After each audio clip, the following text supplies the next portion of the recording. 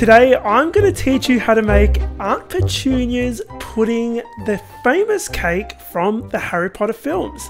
This is the same cake that was featured in the second film, Harry Potter and the Chamber of Secrets, before Dobby smashed it and got Harry in trouble.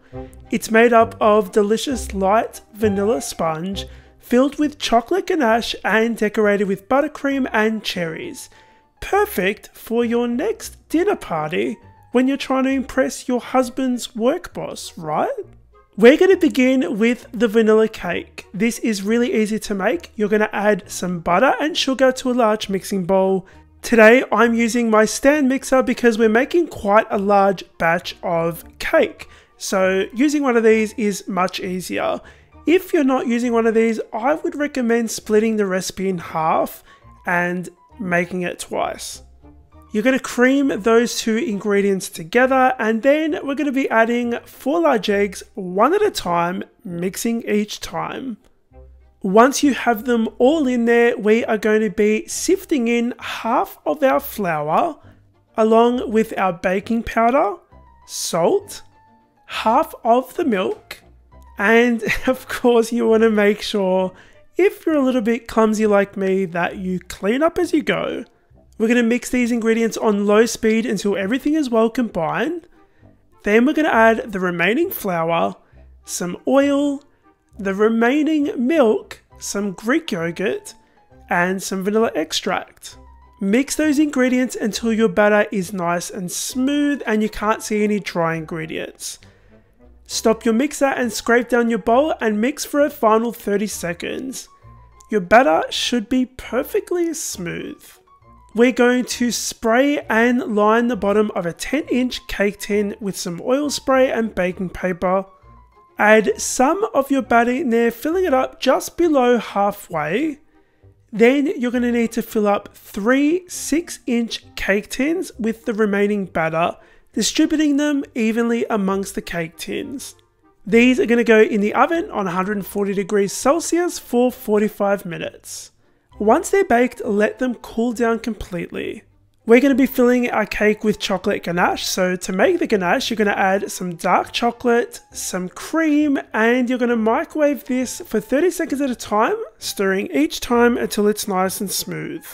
You'll need to let this set at room temperature before you can use it for the cake. Speaking of cake, our cakes have baked and cooled and we're ready to trim the tops off. I'm using a cake leveler to level off or trim off the top of my cake where it's domed just to make sure that it's nice and flat which makes stacking the cake much easier and neater. You want to do the same to the 6 inch cake and these are all the cake layers we're left with. Add a little bit of that set chocolate ganache to a cake board or serving plate and add your first 10 inch layer of cake. You're going to add some frosting on top of that and spread it around nice and evenly. Then add your 6 inch layered cake on top. Repeat that until you have the remaining two layers on top. Add some more frosting on top and we're going to spread this around the side. It doesn't have to look perfect because we're going to be covering this with buttercream.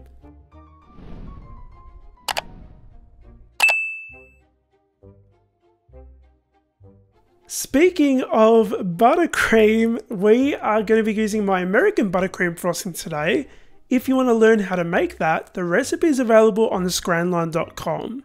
Add some green food gel to one third of the buttercream, mix that until it's evenly combined, and then to the second third, you're going to be adding some purple and pink food gel.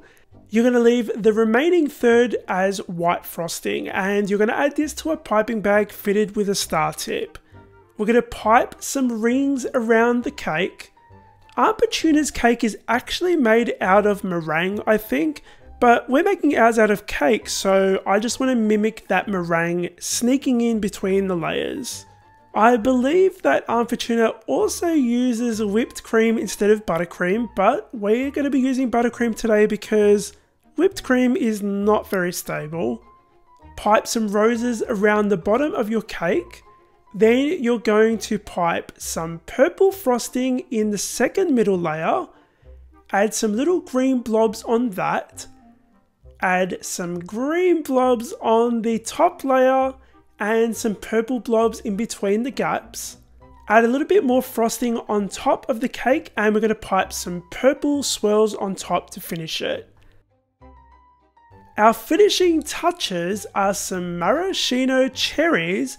If you can't find these where you are, you can use glacé cherries. Then we're going to finish this off with some purple flower candies. And guys, this looks pretty much exactly the same as Aunt Petunia's pudding from the film, don't you think? I even got it to float. If you enjoyed watching today's video, make sure you subscribe to my channel and hit the like button, it really helps my channel out. If you'd like to see more recipes from me, they're up on screen right now, Click on those and the recipe for this is in the description box below. It can be found on my website, thescranline.com. Thanks so much for watching and I'll see you all on the next episode of The Scranline.